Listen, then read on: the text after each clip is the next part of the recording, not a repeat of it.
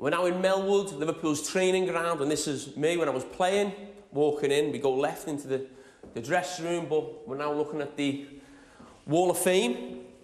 We have the 60s there, we've now got the 70s, some of the Liverpool greats. Ray Clements, goalkeeper, a man we know really well, Graham Souness, Sky Sports. Uh, Dad, I would say, looks after us all.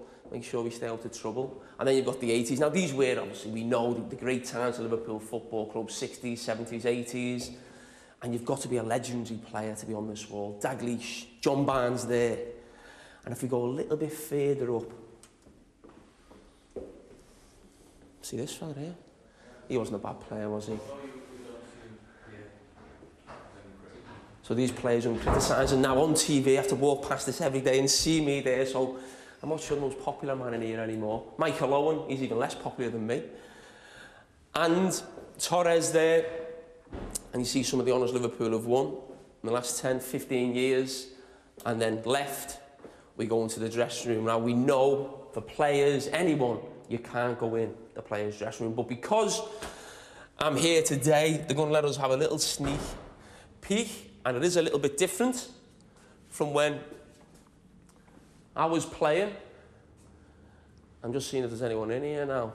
I used to be get changed there, but it is a lot different. Messages up on the wall. Hopefully that's inspiring them before they go out to train. We never had this little seating area here. And uh, obviously the players are going to come in later on the training this afternoon ahead of, of the Merseyside derby. But this is what it was day in, day out. But as again, it's improved as you'd expect. Melwood, completely different now to when I was here. So we're going to see if we can now see if there's anyone in the boot room area or up in the kitchen when you come through. So this is where the players get together before they go training. We see the boots here, step out onto the, the famous Melwood training pitch. I'm just going to see if there's anyone about. You see the boots there. Listen, this is a disgrace. The coloured boots. It's got to be black boots. Has to be. And that's, oh yeah, who's this? Oh yeah, number 23. At least there's black boots. They might be mine. Still, my old ones are still there because not many players have black boots now, do they? So, okay, come on, let's go up. Is there anyone in here? What room's this? This wasn't here when I was a player. What is it? Fitness department. Fitness department. Is. Is this where there's more staff than players? Is this one of them rooms? yeah, yeah, yeah. He's all doing the same job on a computer. Yeah. Come on, what do you do? What do you do for the training? You're looking at the training, sports science. Yeah, we just um, well, Andreas will speak to Gialdo, the manager, help, help the plan of training, um, and we then try and monitor what they do and make sure they're ready for it and they're recovering well on time for the games. So the compu- computer geeks. More or less, I as Yeah, well. yeah. No, Yeah? Hard. Come on, come on, come on. He can't be hard. He's a fitness. You know the man on, you know the man on the bench. You say he looks like Jurgen Klopp's brother. That's him. come on, let's leave them to it. They're getting the lads ready for training. Good luck. Get them ready. It's a big game Sunday, innit? Top man. Come on. And we're going now to the canteen so we can see my favourite girl, Caroline. Up we go. Normally when I, when I left there was a big sort of montage of different Liverpool legends on that on that wall. There was a bit of a problem because Rafa Benitez was on it and then a new manager comes in so they had to change that so I think they just kept it safe now with Melwood but as we come up this area now that is the, the manager's office. Should I go and give him a knock see if I'm playing?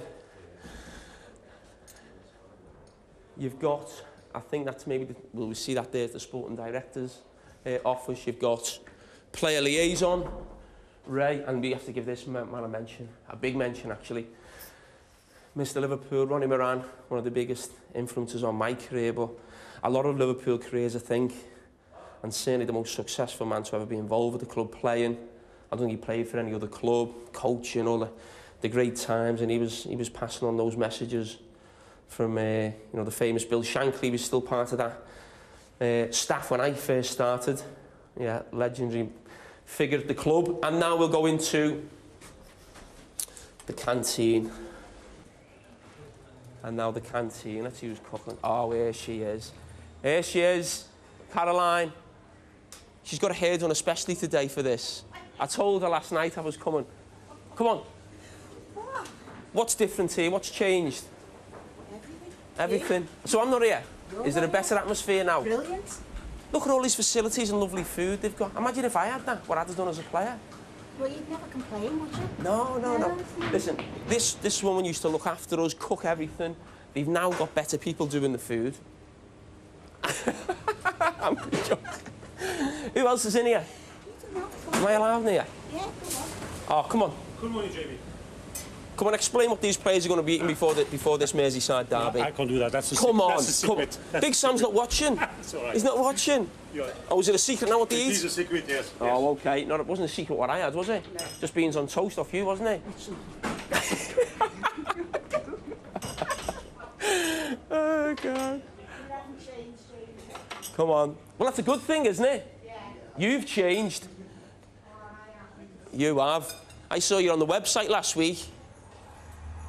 And listen, this is now the, well, still is the training pitch that we played on Liverpool are actually moving, uh, moving closer to the academy up at uh, in Kirkby really, so they'd probably be another year, uh, a couple of years. But you see what Jurgen Klopp's done there. That was always the main pitch, even for when I first came to Melwood at nine, ten years of age. That was the, that was the pitch the first team trained on, and you were not allowed to go on it as a young player. But actually, you see Jurgen Klopp's done there. He's actually fenced that pitch in, and I think when they're doing real tactical work, those uh, look like curtains really, but big curtains actually go right round the pitch because let's not forget that this training ground is, is unique in some ways in that maybe old-fashioned in some ways in that it's in the middle of houses, terraced houses, housing estates. Training grounds are completely different now.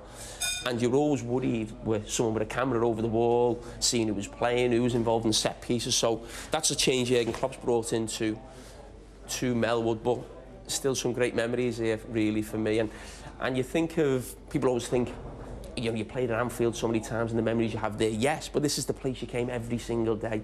The girls in the kitchen, the kit men, the people looking after your boots, all these different type of people who are involved in a football club. The main base is the training ground and as we see that what Jurgen Klopp's done. And some great memories and just great to be back at Melwood.